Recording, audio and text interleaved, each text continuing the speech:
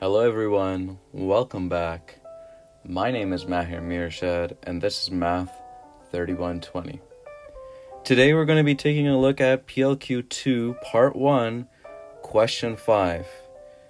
The question reads Given the universe is the real numbers, define the open statements that pxy is defined as x squared greater than y and qxy is defined as x plus 2 is less than y.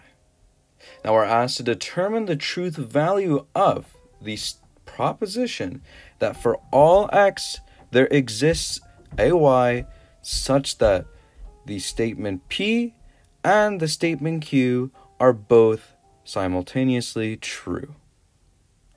Now, the simplest solution to this problem is to simply show via the graphs that there exists such a solution. So, what would such a solution look like? It would look like if we drew this on a graph and we had some area such as this, where we'll say that this is our P proposition, and then we had some area that overlaps it on all values of x, and there exists some intersection there. This is now true. That overlapping intersection is that and. So we have to find that every single x has an overlapping region between both of these propositions.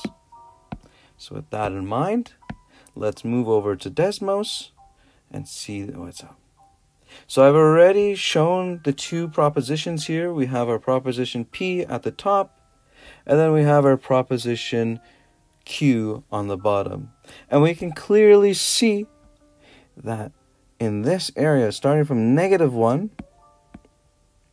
to the area at 2, there is non overlapping sections. And because of that, we can conclude that the proposition is false. There exists a region from x is negative 1 to 2 where both of the statements are not true. Therefore, the overall statement is false. Thanks for listening.